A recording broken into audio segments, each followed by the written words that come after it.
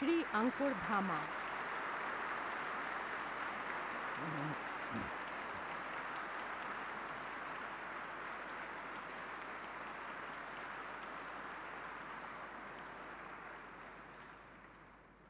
para athletics के उत्कृष्ट खिलाड़ियों में से एक श्री अंकुर धामा ने एशियाई पैरा खेल 2014 में कांस्य पदक 500 मीटर